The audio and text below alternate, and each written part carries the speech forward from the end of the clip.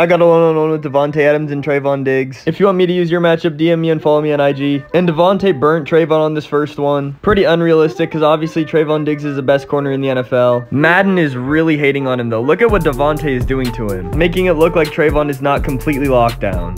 Trevon's getting cooked worse than Jalen Ramsey week one. I mean, this is actually bad. Davante got his X Factor lit up, but he doesn't even need it because he burnt him anyway.